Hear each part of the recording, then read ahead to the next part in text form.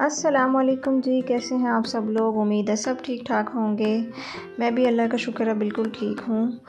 तो आज जो है ना, मैं घर में मक्खन बनाने लगी हूँ तो मैंने आपके, आप लोगों के साथ जो है ना, उसकी वीडियो शेयर कर रही हूँ। तो यहाँ पे जो है ना, ये मलाई थी, दूध की जो मलाई होती है ना, ऊपर से उतार लेते हैं, वो मैंने जमा की हुई थी काफ़ी सारी। तो उसको जो है ना, मैंने दही के दो चम्मच उसके अंदर डाल के, जैसे दही को जाग लगाते हैं ना, इस तरह से मैंने मलाई को जाग लगा के ओवरनाइट के लिए रख दिया था। तो ये जो है ना, अब जम गई है, यानी कि जैसे दही जम जाता है ना, इसी तरह से। तो अब जो है ना, इसको मैं ब्लेंडर के अंदर डाल के, इस तरह थोड़ा थोड़ा सा तो मैं इसको ब्लेंड कर रही हूँ, और साथ में मैं ठंडा जो पानी होता है ना, ठंडा यख पानी, वो इसके अंदर थोड़ा थोड़ा सा आपने डालते जाना है। जैसे ये मैंने एक बर्फ़ का गोला ले लिया और इसके अंदर पानी डाल के और थोड़ा थोड़ा सा जो है ना इसके अंदर पानी डालते जाना है। उससे जो ये है ना कि मक्खन जो है ना वो अलग हो जाएगा और जो बाकी का है उसका वो लस्सी अलग हो जाएगी, मक्खन अलग हो जाएगा। ठीक है जी। तो ये बनाना नहायत ही आसान है और जल्दी से बन भी जाता है। अब तो वो दूसरा हाथ वाला, मधानियों वाला सिस्टम तो नहीं है मतलब कि अब इतना इलेक्ट्रॉनिक्स आ गई हैं। तो इस तरह से जो है ना, मैं तो ब्लेंडर में बना लेती हूँ। तो ये आप देख सकते हैं, ये कितनी जल्दी से जो है ना, फटाफट इसका जो है मक्खन वो निकल आया है। और बाकी जो हम पानी डालते रहते हैं ना तो वो फिर लस्सी सी बन जाती है। तो वो भी, उसको भी ज़ाया नहीं करते। उसकी जो है ना, मैंने कड़ी बना लेती हूँ मतलब कि। तो इस तरह से इसका अंदर से पेड़ा निकाल के मक्खन का और उसको जो है ना ऐसे गोल सा बना के पहले उसको पानी के अंदर थोड़ा सा रखेंगे। उसके बाद जो है ना उसको साथ में दूसरे बाउल में मैंने रख दिया था ताकि उसके अंदर से जो लस्सी वगैरह निकलती रहती है ना पानी, वो नहीं फिर निकलता। तो ये देखें जी, ये इतना मक्खन जो है ना तकरीबन वन के जी मक्खन जो है ना निकल आया था।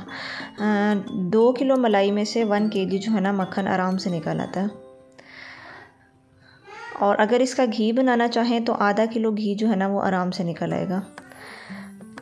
तो ये जो है ना मक्खन, अब मुझे वो बाउल जो है ना वो चाहिए होता है मतलब ज़रूरत होती है तो मैं ये जो डिस्पोजेबल है ना बॉक्स इसके अंदर मैं डाल के और इस तरह से इसको करके रख दूँगी। तो ये ये तकरीबन वन के जी है, ठीक है? ये वन के जी का ही बॉक्स है ये वाला। तो इसको मैं इस तरह से एक जैसा प्लेन करके ना रख दूँगी। ये बिल्कुल ऐसे लगता है जैसे आप बाज़ार से जो है ना लेके आए हैं। तो ये घर में बनी हुई चीज़ें जो होती हैं ना, मक्खन, दही, ये बड़ी अच्छी होती हैं मतलब कि फ़ायदेमंद। बाज़ार का तो हमें नहीं पता होता उन्होंने मिलावट की हुई है या प्योर मतलब सही देसी भी है या नहीं। तो यहाँ पे जो है ना, मैं लंच की तैयारी कर रही थी तो मैंने चने की दाल उबलने के लिए रखी हुई थी। आज मैं चने का जो है ना, पुलाव बना रही हूँ, चने की दाल का। पहले भी मैंने एक रेसिपी शेयर की हुई है अपने लंच वीडियो में जिसमें मैंने चना दाल पुलाव बनाया है, लेकिन आज मैं फिर से जो है ना, ये बना रही हूँ। बस जब कुछ समझ ना आ रही हो ना कि आज हम क्या बनाएँ लंच में तो बस वो मैं जल्दी से जो है ना, यही बना लेती हूँ।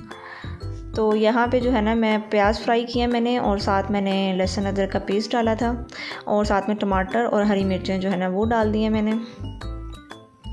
और थोड़ा सा पानी डाल के जो है ना, इसको मैं कर रही हूँ, भुनाई कर रही हूँ और साथ साथ जो है ना, मैं मसाले डाल रही हूँ।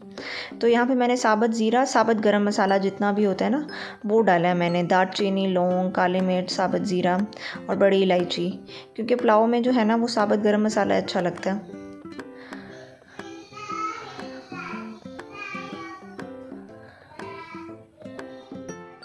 और बस यहाँ पे बाकी के स्पाइसेस मैंने डाले थे, नमक सुरख मिर्च धनिया पाउडर थोड़ी सी हल्दी और जो है ना इनको अच्छे से भून के तो इसके अंदर जो है ना मैंने दाल डाल दी थी जो कि उबल गई थी और दाल का पानी भी है इसके अंदर साथ तो बस जब ये इसका पानी खुश्क हो जाएगा तो दाल को जो है ना अच्छे से भून लेंगे इसको मसाले को और यहाँ पर जो है ना मैं चार कटोरियाँ पानी की डाल दूँगी, दो कटोरियाँ मैंने ली थी चावल की तो जो है ना उसका दुगना पानी डाल दूँगी मैं इसमें।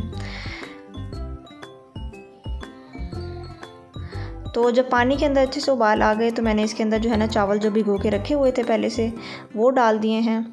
तो बस चावलों का पानी खुश्क हो जाएगा तो फिर जो है ना इसको दम पे लगा देंगे।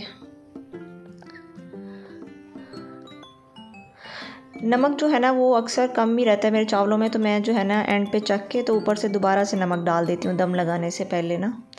तो बस यहाँ पे दम लगा दिया चावलों को और यहाँ पे जो है ना मैं रायता बना रही हूँ। अक्सर मैं जो है ना पुलाव के साथ ये वाला रायता बनाती हूँ। इसमें मैंने खीरे काटे होते हैं, बारीक बारीक से टमाटर और एक प्याज जो है ना उनको भी चॉप किया होता है।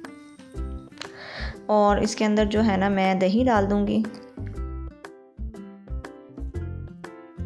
और साथ में इसके अंदर मैं थोड़ा सा नमक और काली मिर्च मतलब कि ए वन टीस्पून का चौथा हिस्सा जो है ना वो वो मैंने इसके अंदर डाला और बस इसको अच्छे से मिक्स कर लिया। ये बड़ा अच्छा सा मज़ेदार सा रायता तैयार हो गया लंच में।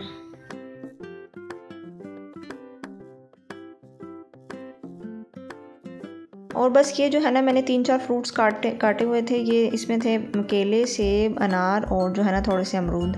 तो इनको मैंने, पहले तो मैंने सोचा कि मैं फ्रूट चाट बनाती हूँ, फिर मेरे पास क्रीम पड़ी हुई थी। मैंने कहा, चलें, जो है ना क्रीम चाट बना लेते हैं इसकी।